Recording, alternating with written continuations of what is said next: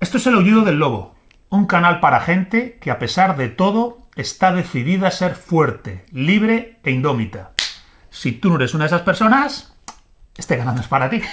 Y hoy tenemos aquí a mi buena amiga Laura García García Tapetado, amiga mía de toda la vida, y que ha publicado un libro interesantísimo, del cual bien merece la pena que tengamos una conversación en el aullido del lobo. El libro se llama Clausuras de Toledo, guía para descubrir su historia, arte y espiritualidad. Esos tres niveles, historia, arte y espiritualidad, a partir de las clausuras de Toledo. Es un tema apasionante, que para cualquiera que tenga un mínimo de sensibilidad tradicional o antimoderna, mm, los temas que desarrolla el libro bien le van a resonar. Entonces, Laura, encantado de tenerte aquí en el Libro del Lobo ¿eh? para hablar de tu libro, eh, Clausuras de Toledo, y eh, bueno, decir que ella es historiadora, que es guía en Toledo y en Madrid, en lengua española, en lengua alemana, en lengua italiana. Luego dejaré abajo en, los comentarios del vídeo donde podéis localizarla si queréis hacer una visita guiada con ella o si queréis haceros con el libro, ¿vale? Entonces, lo primero, mm, 11 conventos de clausura, ¿verdad? Los, tenemos aquí. Santo Domingo el Antiguo, el, Monasterio Imperial de San Clemente, Santa Clara, San Pablo, Concepcionista, San Antonio de Pauda, San José. 11 conventos, fíjate que dices aquí. Toledo es una de las ciudades del mundo con más clausuras. ¿eh? Fijémonos, ¿eh? Con lo pequeñita que es, una de las ciudades del mundo con más clausuras. Entonces, en primer lugar, eh, ¿cómo surge hacer un libro sobre las clausuras de Toledo? Pues en realidad esto eh, salió de la pandemia, como muchos de los libros que se han publicado recientemente. Mm. Eh, recuerdo que cuando se estableció el cierre perimetral, bueno, nos afectó a todo el mundo, pero a las monjas también les, mm, les afectó especialmente. Hay una cosa que mucha gente no sabe y es que las monjas son autónomas, eh, igual que yo. Entonces, cuando se estableció el cierre perimetral, para ellas fue un auténtico palo porque ellas viven de su trabajo, viven de los obradores de mazapán, viven de los talleres de costura, de las guarderías, eh, los talleres diferentes de encuadernación, hospederías, etcétera, etcétera. Y eh, por supuesto, si a los autónomos esto nos cayó como un jarro de agua fría, pues para ellas más todavía, porque nosotros al fin y al cabo tenemos la opción de poder salir a buscarnos la vida y ellas pues no era el caso. No, no pueden. Entonces salieron en televisión y bueno, varios guías eh, lo vimos y dijimos, ¿y de qué manera podemos ayudarlas? Porque es que realmente no hay clientes. Y entonces pensamos en la posibilidad de que sería interesante enseñar esos conventos a los propios toledanos, que eran los únicos clientes que había disponibles. Entonces hicimos un llamamiento, la gente respondió muy bien y se empezaron a hacer visitas solidarias. Con lo recaudado, bueno, pues ayudamos a las clausuras durante esos meses tan duros. Y esto despertó un interés inusitado en la gente que cada vez que salían de una visita yo me acuerdo que me decían, oye Laura, ¿y todo esto que nos cuentas en la visita, dónde lo leemos? Claro, yo tenía el problema de que la bibliografía pues estaba bastante dispersa, poco actualizada, y entonces se me ocurrió escribir un libro. Y luego en otra de las visitas vino casualmente un señor que era dueño de una editorial, me dijo que le había gustado cómo lo había expuesto, que era comunicativo, didáctico, ameno y, me lo propuso el hacer el libro, así que pues me lancé a la Pero que bueno, fíjate, primero surge por una acción solidaria de ayuda a estos conventos que durante la pandemia se llevaron un golpetazo como tantos como tantas actividades en la ciudad de Toledo. Y a partir de ahí ya surge la idea de hacer el, libro. Sí. En, el libro yo veo que mm, hay, como por decirlo así, una vocación efectivamente didáctica y de está muy bien editado, con unas imágenes espectaculares, luego hablaremos de ello, de la belleza increíble que se cobija de arte ¿eh? y de tradición en estos conventos. Por ejemplo, el cuadro que tenemos acá de esta vanitas barroca, esto es espectacular, ¿eh? pero hablaremos luego de ello, porque antes de eso, oye, ¿qué es un convento de clausura? Es decir, la gente que nos está viendo, a lo mejor tiene una idea, no sé, casi vaga, literaria, fantástica. No, oye, ¿qué es un convento de clausura en el siglo XXI en la ciudad de Toledo? Pues eh, es una pregunta muy difícil porque un convento en realidad es una especie de, microcosmos, es como un mini mundo, ¿no? Y es complicado definirlo porque en realidad eh, para saber qué es un convento de clausura hay que abordar, abordar ese tema desde una triple perspectiva, ¿no? Porque los conventos tienen una dimensión espiritual, en realidad son casas de oración, son lugares en los que esas mujeres consagradas a Dios, pues se dedican a la alabanza divina, hacen el oficio divino, el trabajo de Dios. Por un lado tienen esa dimensión espiritual, pero es que por otro lado tienen un valor histórico y cultural incontestable eh, para lo que es la cultura occidental. Y luego, por supuesto, pues eh, tienen una dimensión mucho más social, es decir, al fin y al cabo son casas donde viven estas mujeres.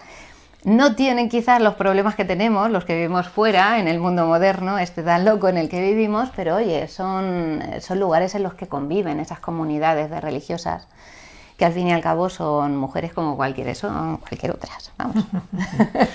¿y, cuál, es, cuál es la historia de la clausura? Es decir, ¿cómo surgen los conventos de clausura o qué papel han tenido en la historia de Europa o en la historia de Toledo? Es decir, en el proceso histórico de nuestra civilización, bueno, entiendo que a día de hoy pues no nos surgirán muchas nuevas clausuras. ni surgirán muchas personas que lleven esa vida de renuncia, de monacato, sí. pero cuál es mínimamente, ¿no? Para quien nos vea el proceso histórico y el lugar en la historia de Europa y de España o de Toledo de los conventos de clausura? Pues los orígenes del monacato en realidad en Europa son muy antiguos. Eh, podemos situarlos hacia el siglo IV, en el momento en el que el cristianismo deja de ser una religión perseguida, primero con eh, la aceptación del cristianismo como una más de esas religiones del imperio y luego posteriormente con el edicto que lo convierte en religión oficial del imperio pues es a partir de ese momento cuando empiezan a formarse las primeras comunidades. Creo que el primer tipo de forma de vida que podemos asociar a esto de la vida monacal. Eh, sí, pues podrían ser los primeros ermitaños, los padres del desierto, ¿no? Que llaman. Pero paralelamente eh, se va desarrollando otro tipo de vida y donde esos eremitas primigenios empiezan a concentrarse y entonces es necesario establecer una regla para regular la vida en común etcétera, etcétera. Los primeros que tenemos constancia son masculinos, pero desde el siglo IV ya sabemos que existen también conventos femeninos, por ejemplo Santa Paula, eh, que es una de las santas por excelencia de la Orden de las Jerónimas, Santa Paula Romana y San Jerónimo fundan esos primeros monasterios masculinos y femeninos, separados pero con el mismo tipo de forma de vida. Y una vida arreglada, basada en la contemplación, hora en labora, también en la elaboración de bienes de consumo para la aldea o la ciudad o la villa en la que están insertos, o a veces para el propio autoconsumo, si son lugares muy remotos, en, parajes aislados. Sí, efectivamente. Luego todo eso se irá desarrollando a lo largo de, sobre todo, la Edad Media, surgirán diferentes reglas eh, para ordenar la vida monástica, pero sí, a día de hoy podemos decir que el hora et la hora es, eh, es el punto vertebrador de la vida en clausura. Sigue a día de hoy en el 2023 la oración y el trabajo, ese trabajo, por decirlo así, para la comunidad o comunal, como el fundamento de la vida monacal. Efectivamente, y ya no solo para, para mm, producir eh, lo que ellas consumen, sino también para poder ganarse la vida a día de hoy. Sí, los, los mínimos ingresos que tienen es, bueno, por esos mazapanes y demás que comentabas. Vale, bueno, pues siendo este un mínimo marco, ¿verdad?, de, de, los, de las clausuras de Toledo, Vamos ahora porque eh, resulta que cuando te pones a indagar, a investigar en el ámbito del arte, de la espiritualidad, eh, eh, de la historia, los conventos de clausura tienen mucho que enseñarnos. Entonces, me decías que podrías hablar de los 11, pero en el ámbito puramente histórico, la dimensión puramente histórica, quieres subrayar dos. Santo Domingo el Antiguo y el Monasterio Imperial de San Clemente. Coméntanos. Sí, bueno, eh, cuando uno habla de conventos de clausura en Toledo es indispensable hablar del primero que conocemos después de la reconquista de la ciudad en el año 1085. Se funda el primer convento que subsiste a día de hoy, es el convento de Santo Domingo el Antiguo. El nombre real es Santo Domingo de Silos, pero como tenemos dos Santo Domingos en Toledo, para diferenciarlos, pues este, que es el primero en fundarse, se llama así, del antiguo. Pero en el mismo 1085, el mismo año que reconquistamos la ciudad de los cristianos, ponemos ya la clausura. Efectivamente. ¿Dónde está ahora? En el mismo... Eh, Donde está ahora, y además esto es muy interesante porque según tenemos constancia, ahí en ese mismo lugar, en época visigoda, ya existe un monasterio femenino. Monasterio femenino a cuya abadesa visitaba la mismísima madre de San Ildefonso. Quiero decir que es un sitio que tiene mucha tradición. De hecho, tú cuando visitas el museo te das cuenta de que hay un montón de piedras visigodas que en realidad no podemos decir a ciencia cierta que pertenecieran a ese convento, pero es significativo que se elija ese lugar para refundar el primer convento. Según cuenta una leyenda, las monjas, ante la invasión musulmana, en el año 711, estando en capítulo, bueno, pues empezaron a rezar y le pidieron a Dios que sepultara el convento para que las, para que las librara de la, furia de los musulmanes. Exactamente. Y dicen que Dios las escuchó y el convento quedó sepultado con toda la comunidad dentro. Entonces, bueno, por eso cuando Alfonso VI reconquista la ciudad de Toledo, es significativo que sea justo en ese lugar donde se va a refundar. Ah, lo hacen aposta, lo hacen aposta. Hay un recuerdo en la ciudad del, convento de clausura más importante o relevante en época goda y ahí aparecerá el primero una vez la ciudad es restaurada a la cristiandad. Exactamente. Y además, curioso porque tú sabes que con Alfonso VI llega un arzobispo eh, de origen francés, don Bernardo, y don Bernardo es, eh, está muy ligado a la orden de Cluny. Hmm. Eh, de hecho, fue abad de Sahagún y son monjas eh, bernardas, las primeras en establecerse allí. Ahora tienen la obediencia del cister, pero porque con los años cambió. Pero en origen son... O sea, estaban vinculadas a la, reforma cluniciense. Sí al medievo cluniciense, que es, importante para entender el proceso medieval europeo. Exactamente, son yo creo que la base de la difusión del culto a la Virgen María, ¿no? Los eh, cistercienses y los bernardos, los cluniacenses.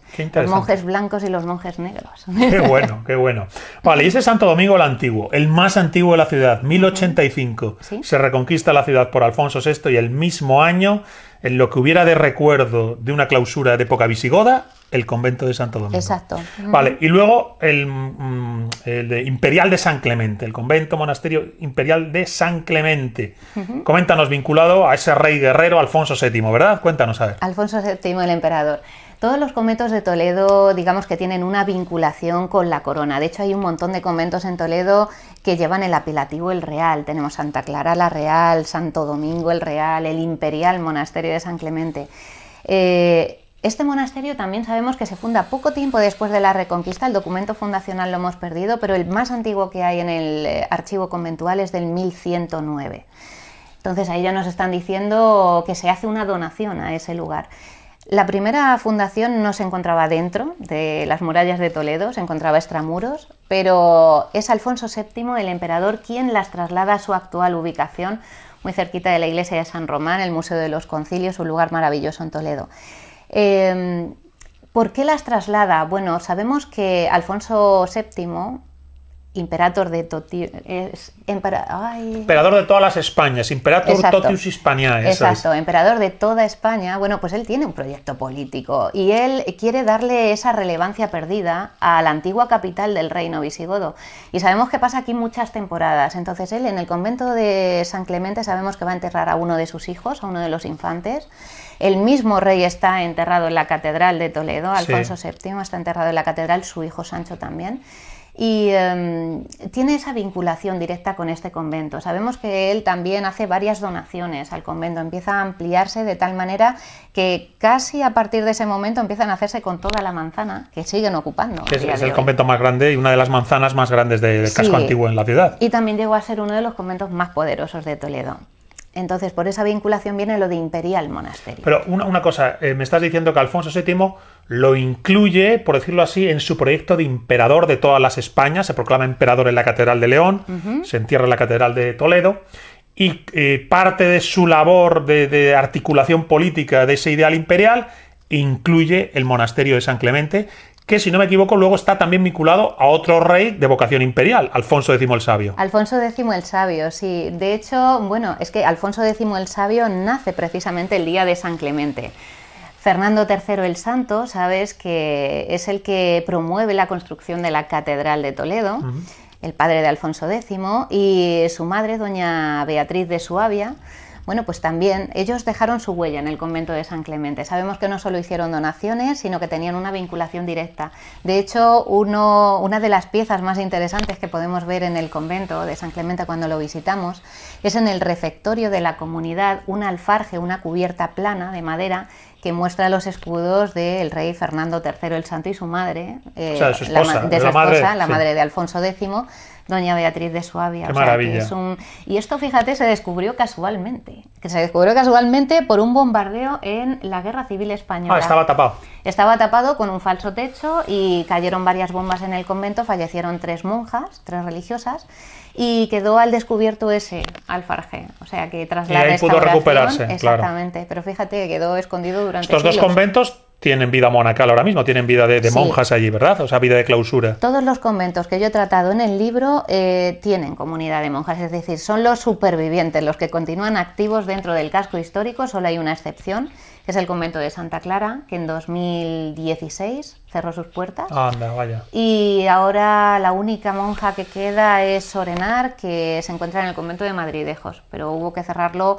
pues por falta de vocaciones, que es el mal que aqueja a todas las clausuras y a todos los conventos, no solo en Toledo, sino en toda España.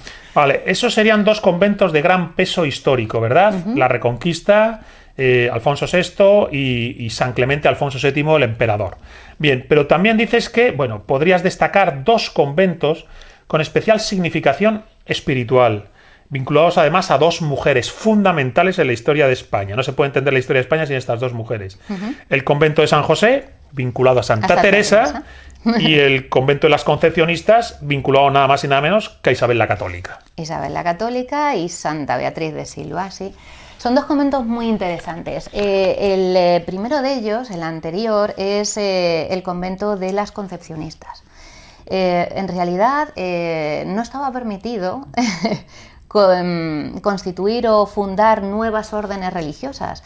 Y sin embargo, Santa Beatriz de Silva lo consigue, por supuesto, gracias al apoyo de Isabel la Católica. Estas son dos mujeres importantísimas eh, para la historia. De hecho, Isabel la Católica es la bisagra ¿no? entre el mundo medieval y el mundo moderno. Y mm, Santa Beatriz de Silva llega a Toledo y aquí vive pues casi 40 años de su vida en el convento de Santo Domingo el Real. No como monja, sino como seglar, como pisadera, como señora de piso. Y durante ese tiempo que pasa ahí en ese retiro, eh, Santa Beatriz, con la ayuda de la reina Isabel, pues va a ir concibiendo esa idea de fundar una orden, fíjate, ni más ni menos que dedicada a la Inmaculada Concepción, que esto es un dogma muy vinculado a la ciudad de Toledo, Sí, pero sí. desde época visigoda. Desde época visigoda, eh, San Ildefonso. Exactamente. Santo patrón de Toledo, defensor de la Inmaculada Concepción en tiempo de los godos. Exacto, pues tú fíjate, ¿tú sabes por qué la Inmaculada la representan vestida de blanco y azul? Porque es precisamente por una visión que tiene Santa Beatriz de Silva. Cuentan las malas lenguas que la madre de la reina Isabel la Católica, doña Isabel de Portugal, era muy celosa. Y entonces eh, Beatriz de Silva, Santa Beatriz de Silva, era una de las damas de la corte. Vino con ella muy jovencita. Eh, dicen que era una mujer de una belleza deslumbrante y entonces la madre de Isabel le cogió celos. Y cuentan que la encerró en un cofre, estando la corte en Tordesillas, y la tuvo encerrado durante tres días. Como lo vería Beatriz, que se encomendó a la Virgen y, la Virgen se le apareció estando en el cofre. Entonces, la visión que ella tiene de la Virgen, ella va vestida de blanco y azul y ella decide consagrarle su virginidad si la saca de ese trance. Y efectivamente la saca de ese trance. A partir de ese momento ella viene a Toledo y ahí en el convento es donde va a madurar esa idea de fundar una orden dedicada a la Inmaculada Concepción. Que la de los concepcionistas. Claro, que fíjate tú que en ese momento esto no era dogma de fe, ha sido dogma de fe en el siglo XIX, es decir, hace cuatro días. Bueno, pues esa imagen de la Virgen vestida de blanca y azul, de blanco y azul, no solo es la base de todas las representaciones que posteriormente los tratadistas van a especificar cómo hay que pintar convenientemente el tema de la Inmaculada, viene de esa visión de Santa Beatriz, sino que cuando ella funda la Orden de las Concepcionistas, quiere que las monjas vayan con el mismo atuendo, quieren que vayan vestidas con un hábito de, color blanco y azul, sí.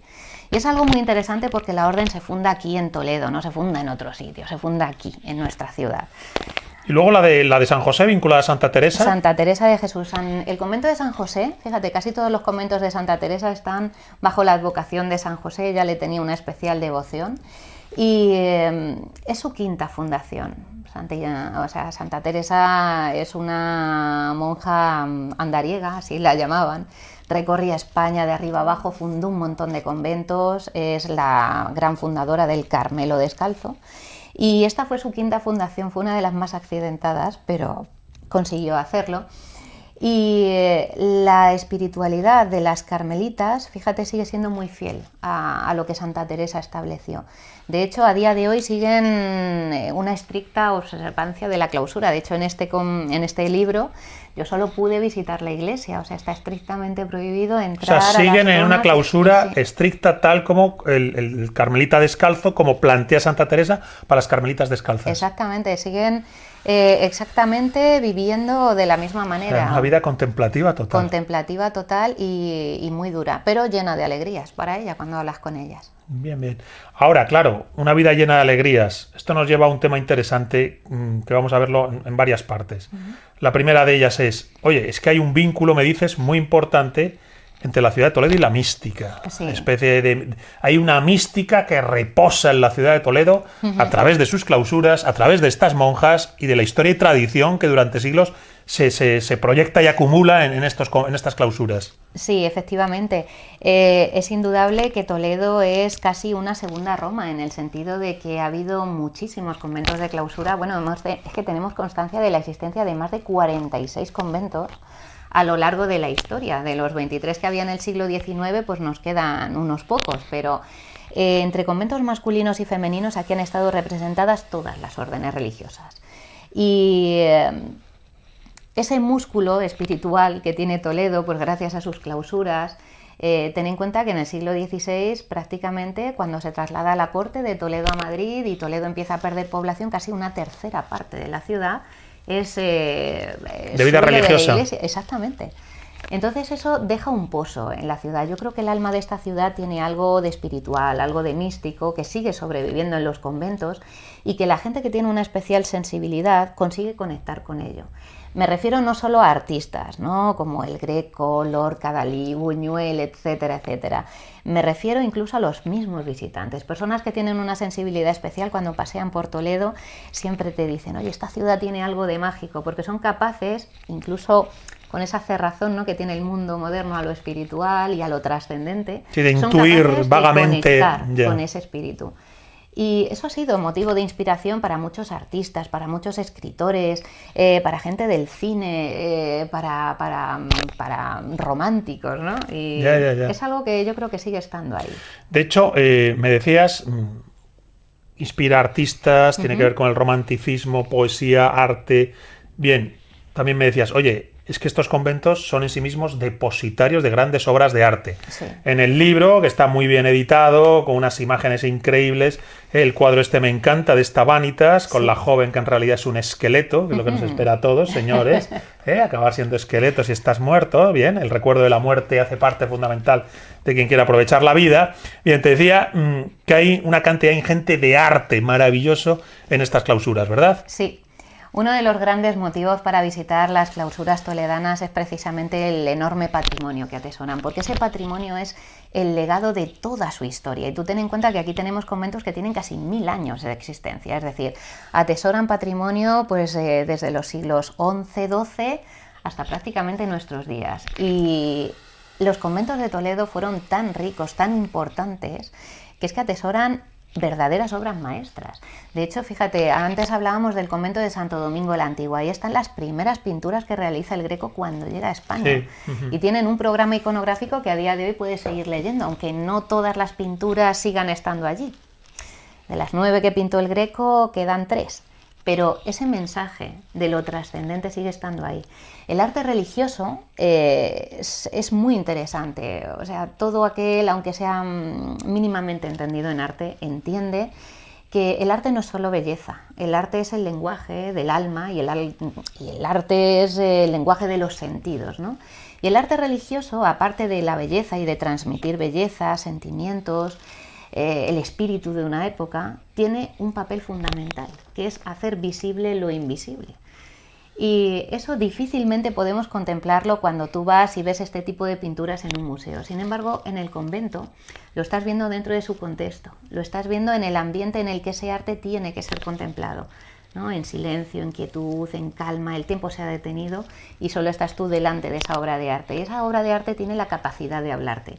Bueno, pues los mejores artistas de cada época han trabajado en esos conventos de Toledo. Me estoy refiriendo no solo al Greco, no solo a Van der Hamen, eh, sino también a grandes escultores. Ahí tenemos por ejemplo, a Juan Bautista Monegro, uno de los grandes escultores de Toledo, que está ahí. Sabemos que trabajaron artistas como la Roldana, sabemos que hay arte procedente del reino de Nápoles, formó parte de la corona española 600 años, ahí es nada.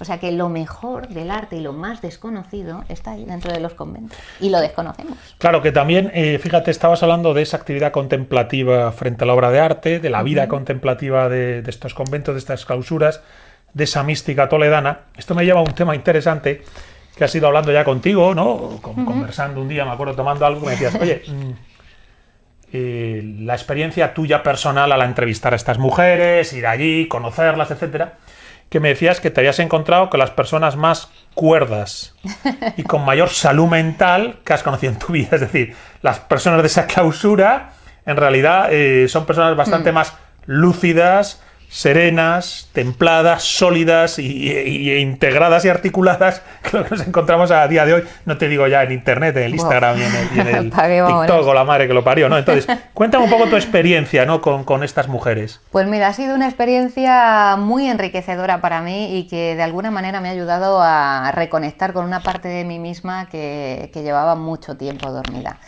Es increíble cómo en pleno siglo XXI, con las neuras del mundo moderno, la sociedad del ruido, de lo inmediato, de lo material, dentro de los conventos, eh, todo esto eh, parece que no existe. O sea, tú atraviesas las tapias de un convento, entras en el claustro y te encuentras en una atmósfera en la que el tiempo no existe, el tiempo se ha detenido, todo tiene un ritmo más pausado eh, y las preocupaciones de esas mujeres que por un lado sí que se aíslan del mundo moderno, porque es necesario para la actividad contemplativa aislarte de toda esa vorágine que es el mundo exterior, eh, te encuentras con que ellas viven de una manera completamente diferente, o sea, su manera de estar en el mundo, de entender la realidad, los problemas, que los entienden perfectamente, es decir, viven aisladas del mundo, pero no se desentienden del mundo. Saben lo que está pasando y te lo comentan y lo, y lo miran desde su ángulo. Exacto y tú te das cuenta de la cordura, la lucidez, eh, la serenidad que transmiten, ¿no? Y es algo que echas de menos fuera, porque